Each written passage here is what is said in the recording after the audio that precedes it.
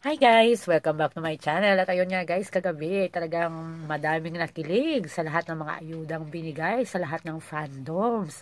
Siyempre, unahin natin yung sa Star Magic Philippines Como Live kung saan naging guest sina ang Alliance, sina Alexa Ilakat at Ian Rances. At yun nga guys, um, siyempre talagang tuwang-tuwa yung mga Alliance kasi talagang um, hindi sa direktang ipinagtanggol ni Alexa, pero parang ipinagtanggol na ni Alexa si Ian laban sa mga nagbabash kay Ian na sinasabing user itong si Ian. Ayan, at kaya nga sinabi ni Alexa na may sasabihin siya na ayun na nga sinabi niya na sa mga fans niya na wala nang bashing, uh, wag nang mag-away at talaga namang walang user, walang manggagamit at uh, okay silang lahat ng mga kapwa niya celebrity housemate.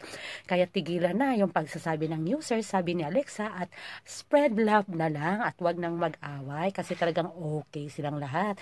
Kaya nga si Ian, di ba, parang maiyak, hindi niya ni-expect na sasabihin niyo ni Alexa sa lahat ng mga fandom kasi lahat ng fandom doon, o di ba? Kaya ayan, uh, uh, tulad ng sinabi ni Alexa, no bashing, ayan, wag nang mayang, mag-away at walang manggagamot, walang user, spread love na lang. Yan lamang yung update natin sa ngayon. Thank you for watching. Keep safe.